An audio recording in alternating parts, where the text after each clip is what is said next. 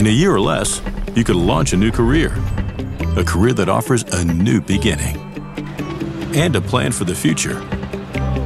A career that provides security and creates stability. A career that brings adventure and a new way forward. At Tennessee's community and technical colleges, you can start your new career in a year or less, and you can likely attend tuition free.